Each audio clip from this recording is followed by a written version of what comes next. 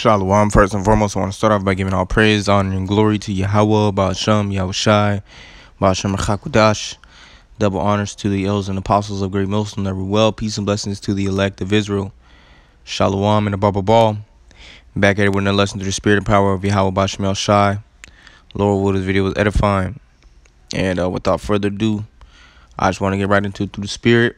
All right. It's a quick prayer through the spirit, asking the Lord for the sure mercies of David you know? Because when you go into the accounts of david you see the, you know king david went off you know as we as did we all. You know we all did sins worthy of death. You see but the lord forgave him. Now that doesn't mean that the lord stood and chastised him you know and he still faced a form of judgment so to speak. But at the same time the lord had mercy on him and made an everlasting covenant with him that he would set up his seed upon his throne, which is Solomon, which is our Lord Yahushua in the reincarnation, you know. And we pray that we be a part of the house of David. All right. And Lord willing, we be a part of that house of David. And the house of David will receive the sure mercies of David.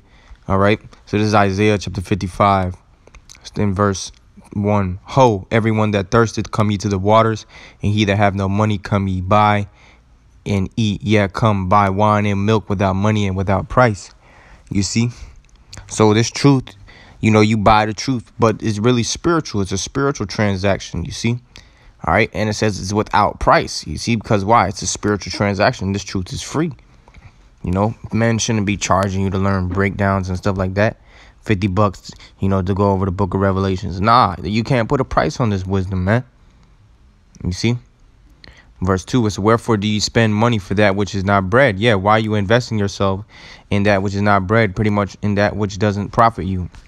You see, because when Jake invests themselves and spend their money, you know, and fully invest themselves in things of the world that don't profit them, you see, they're wasting up their money, they're wasting up their time for things that don't profit them. You see, it says, and your labor for that which satisfied not. Yeah, because you're gonna always keep needing to, you know, that that void is ultimately never going to be filled, man. There's always a, a void in our spirits that only Yahweh Shemashai and his truth can fill. You see? It says, hearken diligently unto me. And that's the thing, we're supposed to diligently keep the Lord's ways. You see?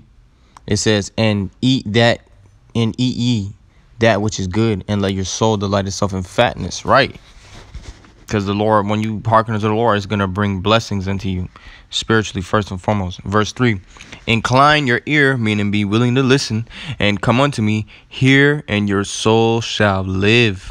And I will make an everlasting covenant with you, even the sure mercies of David. That's right. So, this uh, the prayer is Yahweh, which is the name of the Heavenly Father, the Most High. All right. Yahweh means He is or He exists. All right. And that's the Father, the Most High. All right. And then you have Bahasham. Bahasham is in the name. Ba is in. Ha, the, and Shum name. All right. Yahweh Shai. Slakia. Slakia. For some reason it's tripping on me. Okay.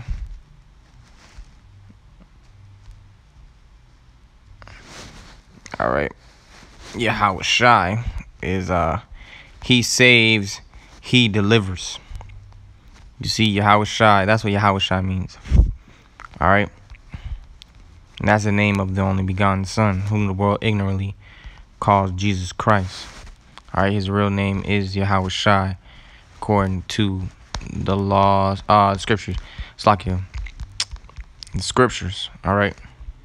Now it's like you, Jake, trying to get the thing right. Okay. All right, Satan, man. As you can see, just doing his job. But call Layim La Yabashmashah. We keep it pushing. We be on our job. Salakia.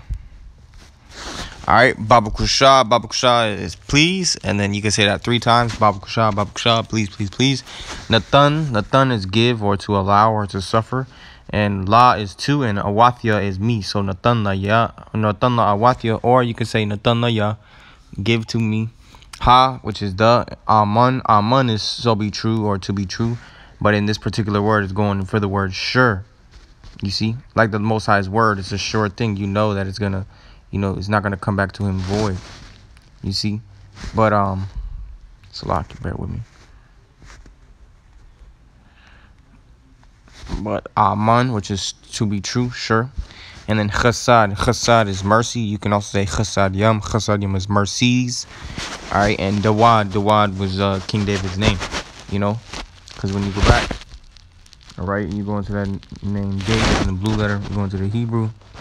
You have the word Dawada. That's the Hebrew characters Dawada, but it's ultimately pronounced Dawad. And sometimes the transliteration helps you pronounce the word you know, but it's it's, it's spelled differently, but it's D A W A D, Dawad, which means beloved, beloved uncle, loved one, beloved uncle, so to speak. So altogether, Yahweh Bashem Yahweh Shai, Babak Shah, Babak Shah, Babak Shah, Nathan.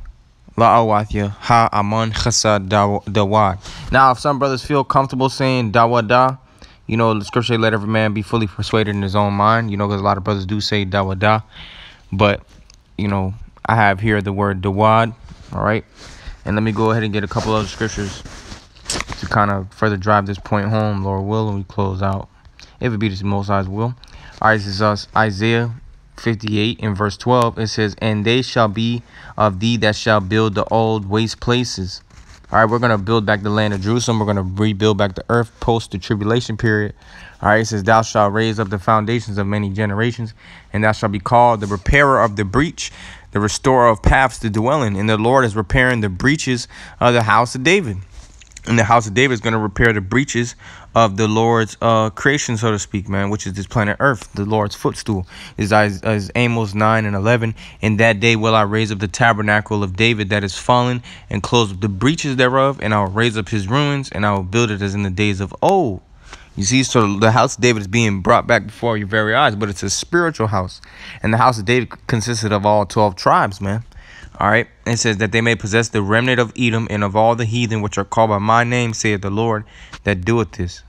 All right. That's the point of that right there. All right. We're going to take over the, their lands and you different nations, man. All right. Say, Lord, will this video is edifying. I want to give all praise, honor, and glory to Yahweh, about Shemel Shai, about Shemel Chakadash. Double honors to the elders and apostles of great Millstone, their well, peace, and blessings to the elect of Israel. Without further ado, just going to repeat it one more time. Yahweh, Bahashem Yahweh Shai. Babakusha, Babakusha, Babakusha, Natan Awatya, Ha Aman Khasa Dawad. Water Twab Aman. You could say the water, which the water is thanks. Twab is good. And Aman can mean so be true, you know. What you really say at the end of a prayer, a lot of times. You see? So that's really the point. All right, what this video is edifying. You can go ahead and take a screenshot if you would like. But that's the point. What this video is edifying. Call Laim Laya Bashim Rashai Bashim Kakadash. Double honors the elders and apostles great Muslim. Well, peace and blessings to the elect of Israel. Shalom and a Baba